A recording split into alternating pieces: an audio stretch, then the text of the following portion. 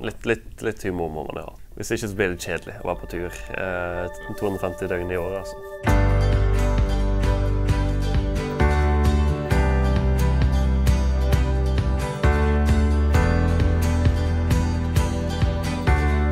Jeg kjøpte jo en sjampo en gang, og da husker jeg Anders ble veldig Hvordan ble det.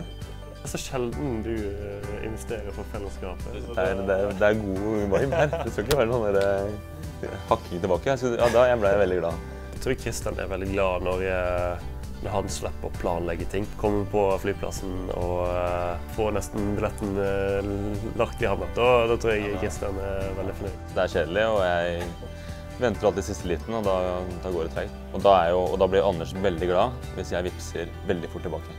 Da blir han veldig glad. Ja, da blir jeg veldig glad. Ja, ja. Så det er, er vinn-vinn, da. Du liker jo òg å komme på middagsbesøk. Ja, da blir jeg glad når Anders inviterer meg. Ja, jeg. Så det er, snilt. Jeg vet ikke om han blir glad eller letta, eller hva det er, men i hvert fall eh, hvis jeg dusja, eh, og så tar jeg den skitne bokseren og legger den rett i skittentøyskurven, eh, så blir han glad. Du blir jo glad da. Ja, da, da blir jeg glad.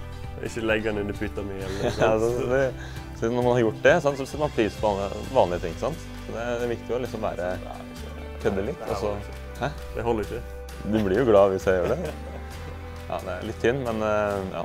Nei, men så ble jeg veldig glad. Det er, her, det er nå nylig. Så ble jeg invitert eh, med på ferien til eh, Anders og dama. Anders har jo to kjærester. Det er jo meg og den ordentlige kjæresten. da. Mens jeg har jo ingen sånn, så jeg føler meg litt utafor. Da ble jeg glad. Ja, da ble jeg glad. Ja, på ekte. Da ble jeg ekte glad. Ja, ja. Så da vant jeg 4-2. Da er jeg også veldig glad.